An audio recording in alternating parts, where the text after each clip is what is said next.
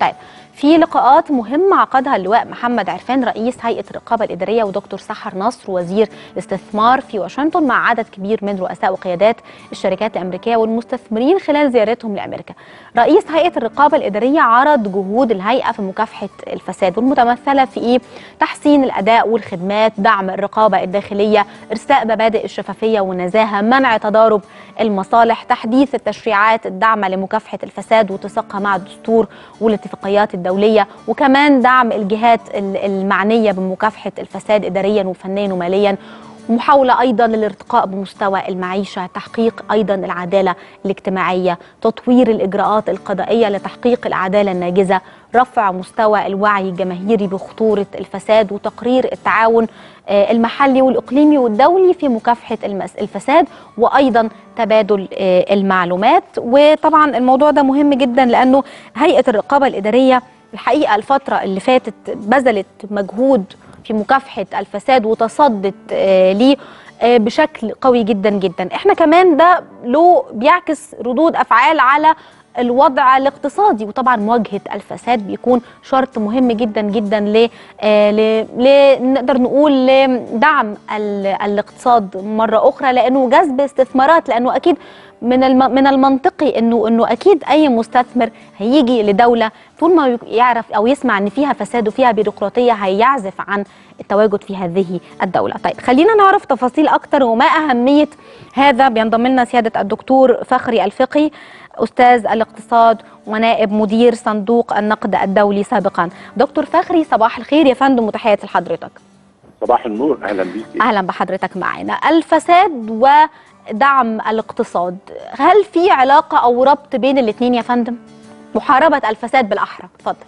آه بالتأكيد يا فندم. آه إحنا دلوقتي مهمة مصر إنها تحسن مناخ الاستثمار ومكونات مناخ الاستثمار اللي إحنا عاوزين نحسنه. واللي الدكتورة سحر نصر ماسكة هذا الملف حاليا مع التعاون الدولي طبعا. أنها في بحث دائم أو يعني عمل دائب وجهود مستمرة من أجل استكمال مسيرة تحسين مناخ الاستثمار، لما تبصي نمرة واحد أنا وحدت سعر الصرف، أصبح المستثمر النهارده بيدخل بسعر واحد.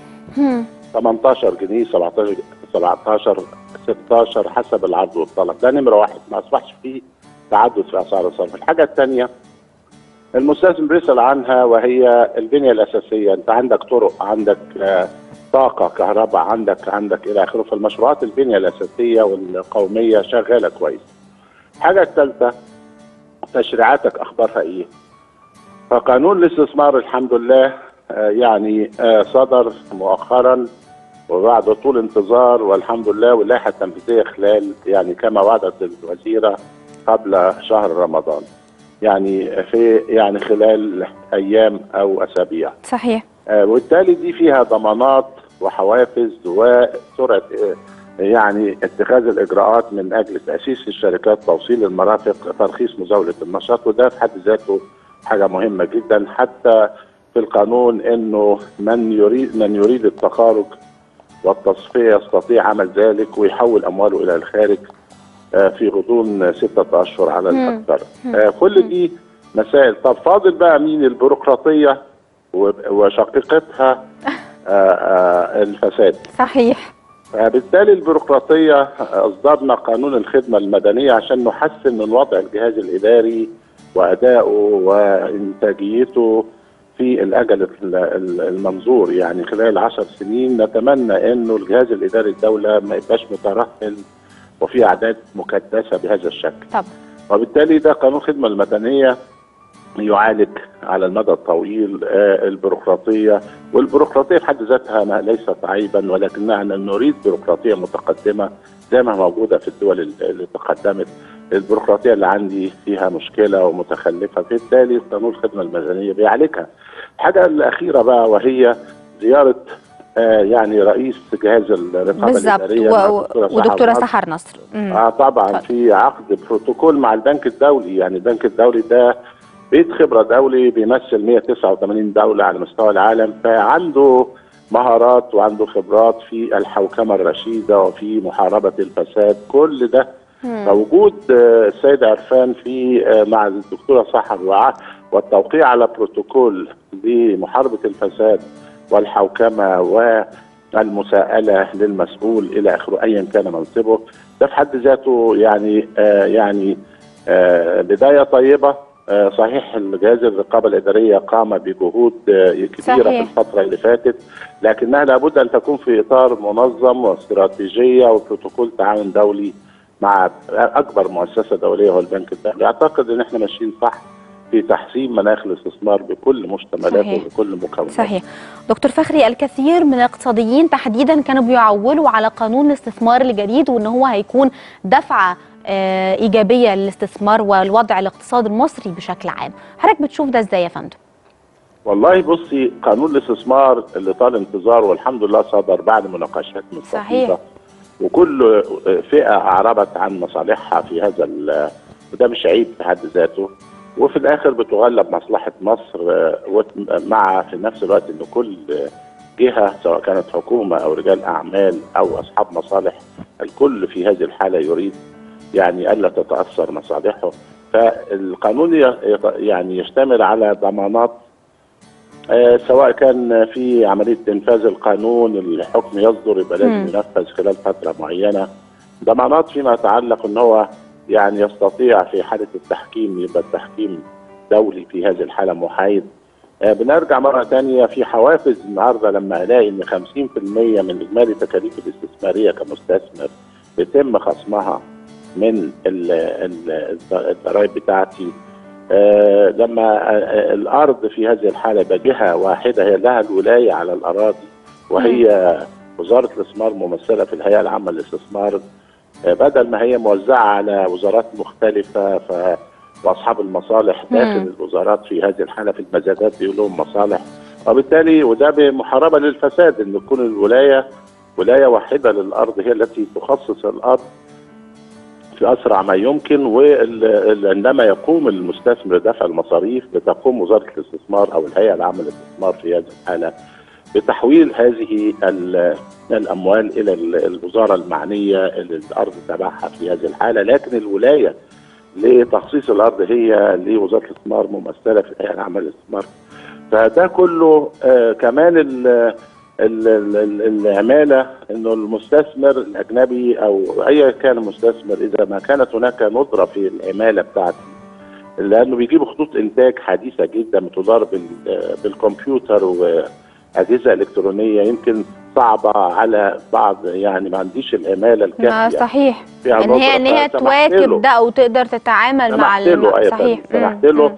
إن يجلب عمالة لحد 20% بدل ما 10% في القانون القديم وده يشجعه إن هو يعني يشتغل لحد ما ندرب ولادنا بل بالعكس إنه بنقول له في هذه الحالة إن الحكومة بتقول له شغل المصريين العمالة المصرية والحكومة تتحمل يعني مصاريف تدريبهم عنده هو في هذه الحالة أو في مراكز تدريب حكومية أو لدى الشركة نفسها والحكومة هي اللي تتحمل تدريبهم لأن دول ولادنا. صحيح. عشان ما يجلبش عمالة أكتر من المطلوب في هذه الحالة لأن إحنا عندنا ندرة.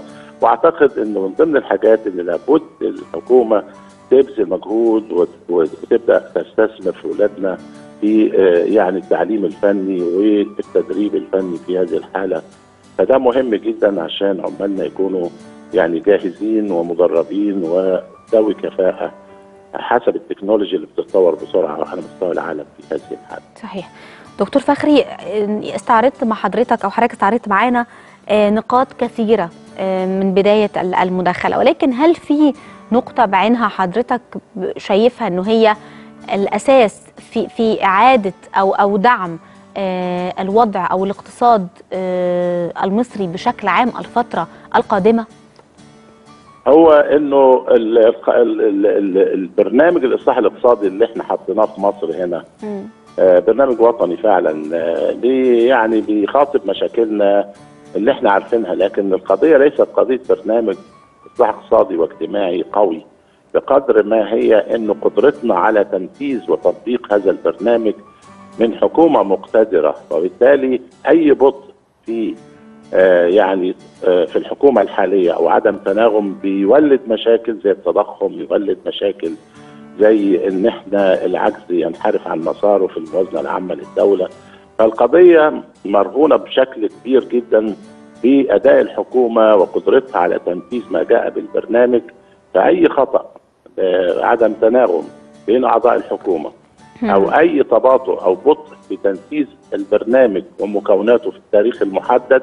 ده بيولد مشاكل اللي إحنا بنحاول نحلها. حضرتك شايف يا فندم إن الحكومة. حضرتك شايف يا فندم إن لحد الآن الحكومة بالفعل قدرت إن هي تن- تنفذ هذه البنود؟ خليني أقول لك بصراحة إنه حمل مصر تقيل بتستهلك الحكومات بسرعة. يعني حكومة الببلاوي قعدت تسعة أشهر حكومة محلب قعدت سنة. آه يعني لما تحسن الوضع شوية. حكومة المهندس شريف قعدت سنة ونص دلوقتي. أعتقد إن هي انهكت يعني يعني حقيقة. بذلت كل ما لديها فأصبح يعني الحمل ما زال تقيل وأعتقد إن هي محتاجة إلى. يعني مصر تحتاج إلى تجديد دماء وحكومة المهندس شريف إسماعيل أدت وابلت بلاء حسنا بهذا البرنامج القوي. لكن التنفيذ هو الأهم عندي في هذه الحالة هناك بعض البطء وعدم التناغم في هذه الحكومة مع الرغم أن هناك وزراء محترمين جدا حوالي من تقريبا ما يقرب من ثلث ال- الحكومة الحكومة. اللي هي مكونه من 34 وزير ثلثهم اكفاء بالفعل بيقوموا بواجباتهم على خير آه، قيام. وبالتالي في هذه الحالة عندما حتى لو جددت الحكومة ورأس الحكومة يبقى بيتم الإبقاء على هؤلاء الوزراء المحترمين في هذه الحالة لأنه أدائهم آه، ممتاز خلال الفترة اللي فاتت. صحيح. بشكرك شكرا جزيلا دكتور فخ- فخري الفقي على هذا آه، التوضيح.